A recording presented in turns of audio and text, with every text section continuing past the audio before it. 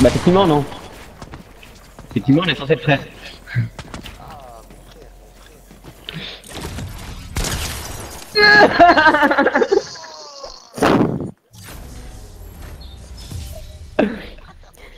C'est interdit Zakani.